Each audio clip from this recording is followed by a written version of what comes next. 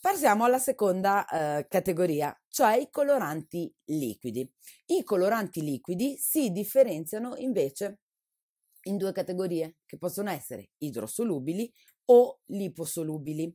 Come abbiamo detto, niente, come abbiamo detto prima, le eh, indicazioni riguardo il, i diverse tipologie di coloranti lipo idro non cambiano eh, molto a, a, seconda che si parli di eh, polvere o di, eh, o di colorante liquido. Diciamo che i coloranti liquidi idrosolubili, ok? Eh, anche questi possono essere utilizzati per panna, latte, eh, pasta di meringhe, eh, ghiaccia reale, idrosolubili.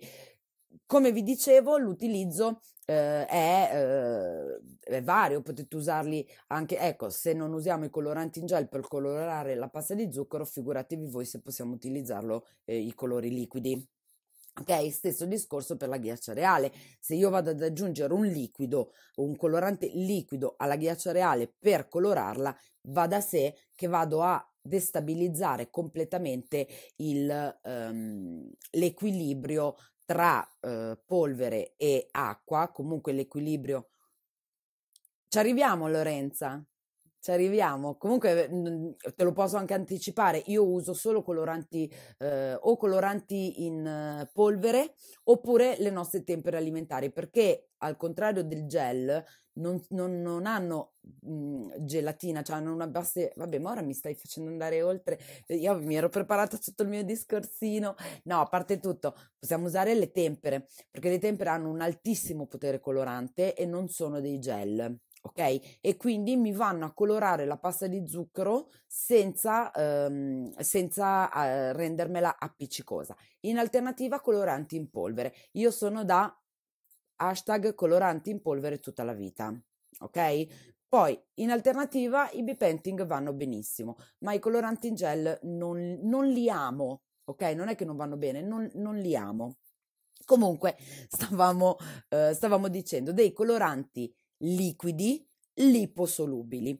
Il colorante liquido liposolubile è un colorante che secondo me non ha un grosso, ripeto, mia opinione personale, eh, non ha un grosso margine di, ehm, di utilizzo, ok? Perché comunque è sì che è già diluito, ma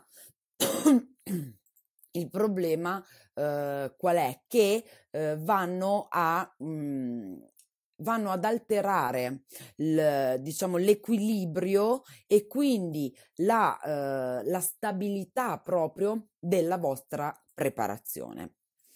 Vi stavo dicendo coloranti liquidi liposolubili che come abbiamo visto si differenziano in due categorie anch'essi. Quindi eh, coloranti a base di oli vegetali e coloranti a base di burro di cacao. I coloranti a base di, eh, liquid- di oli vegetali si, pre- si, presentano nel 90% dei casi eh, liquidi anche a temperatura eh, ambiente e sono particolarmente indicati per la colorazione di tutte le masse da forno. Quindi eh, anche in questo caso parliamo di eh, pasta frolla e quant'altro, quelle masse che devono andare a essere cotte in forno, quindi possiamo utilizzarle per la rainbow cake, possiamo usarle per la red velvet, possiamo utilizzarle per tutta questa serie di preparazioni. Perché? Perché la loro composizione eh, fa sì che l- la tonalità di colore non subisca delle variazioni in fase di cottura. Infatti, che cosa può succedere? Che voi magari colorate la vostra pasta frolla di rosso, la andate a infornare, quando tirate fuori i biscotti non è più rosso, ma è un color mattone, è un color marrone.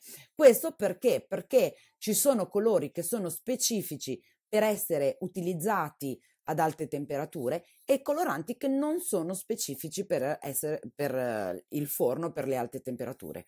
Quindi cosa vuol dire? Non vuol dire che se sul vostro colorante non c'è scritto usare in forno non potete usarlo, però fate delle prove perché non è detto che quel turchese che voi avete, eh, con cui voi avete colorato la, la vostra massa rimanga turchese e non diventi invece verdognolo ok? Con i coloranti eh, liposolubili liquidi diciamo che sono nati abbastanza per questa, eh, per questa funzione, non, eh, questa cosa non, non, succede o comunque eh, succede in minima, eh, in, minima, mm, in minima parte.